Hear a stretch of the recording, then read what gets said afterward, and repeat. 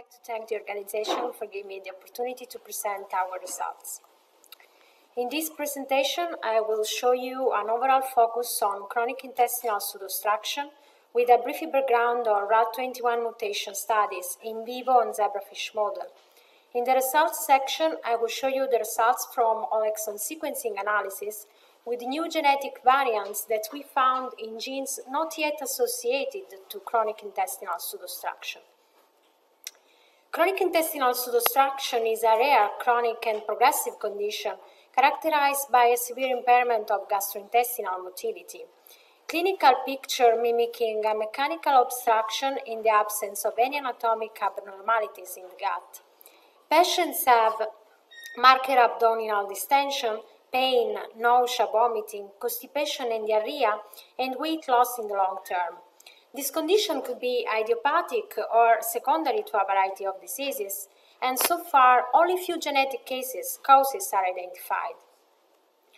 Regarding the genetic point of view, we know that uh, CIPO is related to different mutations identified in different genes, such as autosomal dominant genes like SOX10, ACTG2 and ACTA2, X-linked like LFNA, FLNA, sorry, and autosomal recessive genes like TIM, POLG, MYH11, SGOL1, and RAD21. But there is no significant overlaps with Hirschsprung disease genes. In our lab, we identified using whole exome sequencing analysis a novel missense change in RAD21 in a a Turkish family with CIPO patients. This uh, missense change is a substitution of alanine to threonine in position 622, and we also analyzed 1,000 control chromosomes of Turkish origins, and we didn't find the same mutation. Really briefly, RAD21 is a part of the cohesin complex, this ring in the picture, that it's linked to SMC3, SMC1, and STAG subunits, and is important for sister chromatid pairing and unpairing. We analyzed this mutation in vivo using zebrafish model, and as you can see from the first panel, we analyzed the intestinal motility using microgavage technique. And in the first graph, we show that in the zebrafish control, there is a completely uh, emptying of the gut. But when we analyze the RAD21 morpholino, there is a completely delete in the food transit. So, furthermore, we also analyze UCD marker uh, for the enteric neurons, and as you can see from the picture, there is a reduction in the number of UCD positive cells in RAD21 morpholino compared to the control.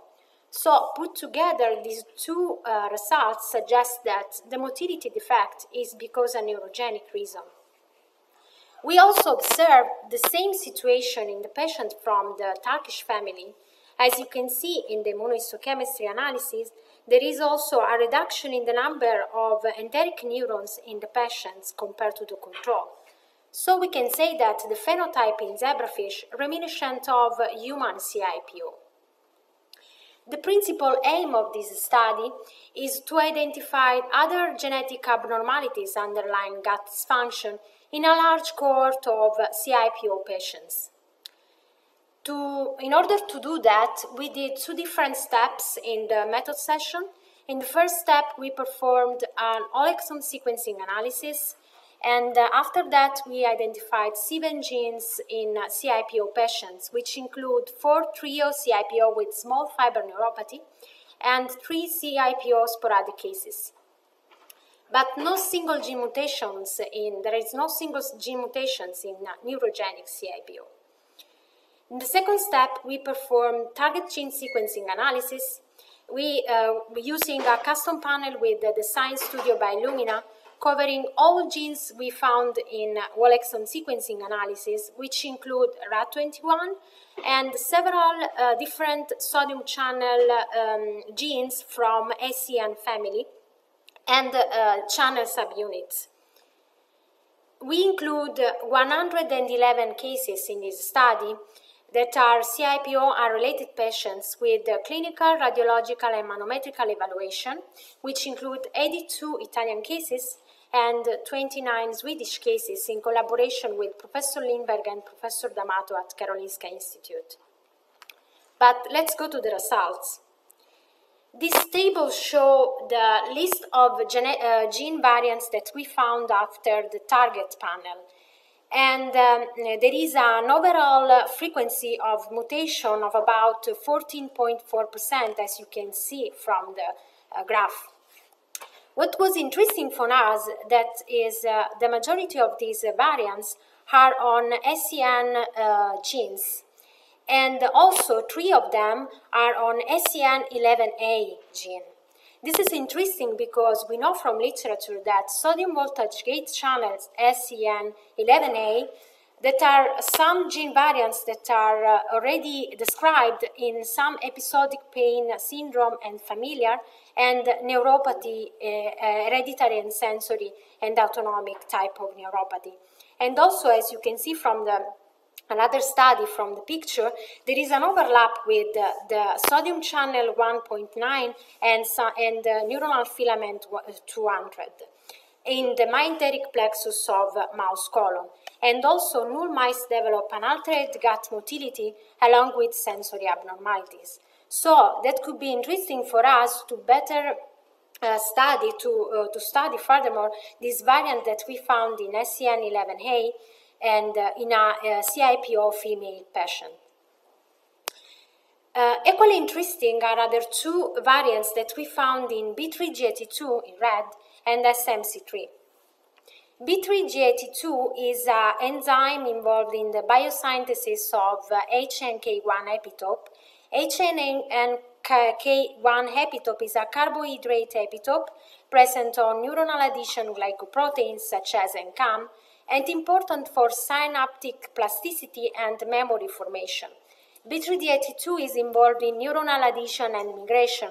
For this reason, could be interesting to us to study these two different variants that we found. One in an Italian case is a, a male case of 30 years old with uh, CIPO and uh, small fiber uh, neuropathy, is a de novo mutation, and another one in a Swedish case is 60 years old female and is a very premature stop codon.